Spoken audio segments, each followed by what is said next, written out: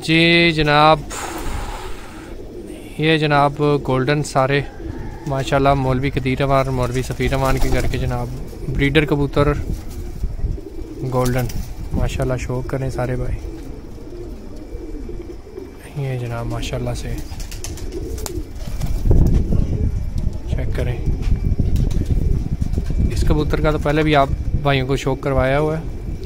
अभी जो दूसरे सारे हैं ना इन सब का भी आपको शौक करवा रहे हैं, माशाल्लाह, शौक करें जनाब बहुत ही अल्लाह और नफीस और प्योरिटी में है, माशाल्लाह। क्रॉस में नहीं है।